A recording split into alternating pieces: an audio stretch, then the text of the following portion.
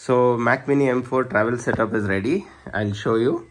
Just we need a keyboard. So there is one keyboard. Let us switch on. Then there is a iPad. Then this is a Mac Mini M4. So this is a setup. So we can easily travel now with a Mac Mini M4 just by having iPad, Mac Mini M4 keyboard.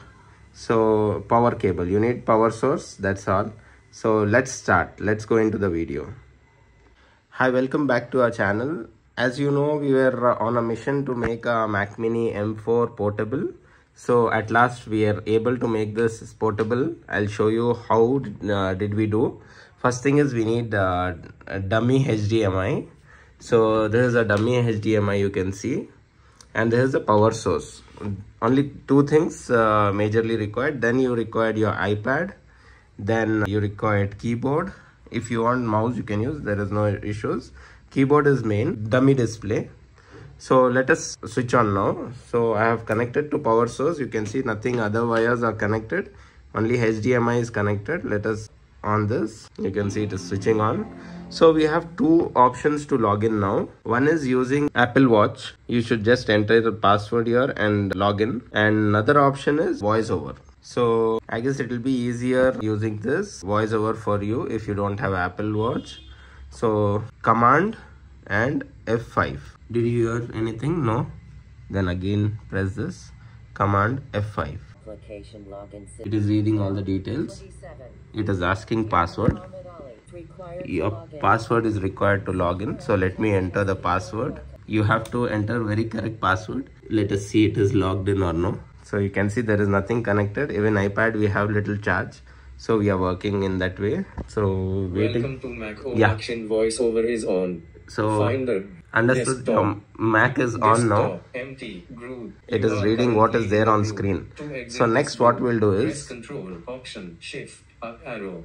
Command and space. Spotlight, spotlight is open. Do not disturb. On. This i. Display brighten p. L a Y. We have typed display now. Let us click down button.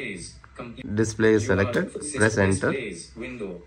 We have come into displays now. This toolbar. Press control option shift down arrow. So to control uh, this option, let us try with that. Toolbar text field blank. Suggestions available. Entering displays sale. Leaving displays. Add pop-up button. So it has come on pop-up button. Pop-up button. After four clicks, we came on pop-up button.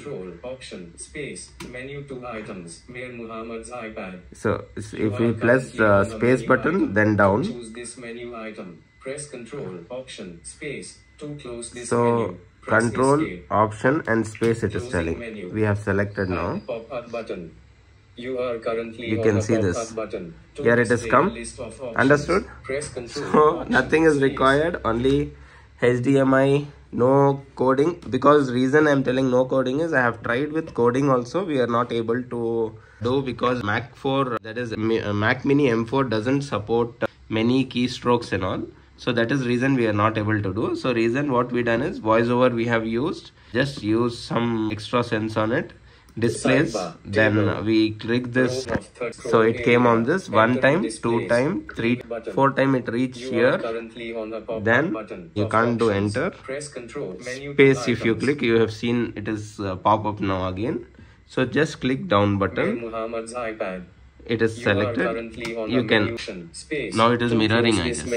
press escape. Closing so, menu two items. same Check thing down enter. iPad. closing menu. It is closed. Add button. Same if you want to again start. it is telling that we are currently on pop-up button. Mir Muhammad's iPad. Closing menu. It has to come here. Yeah. see that's all. so this is uh, mac mini travel setup now i'll show you so Mac Mini M4 travel setup is ready.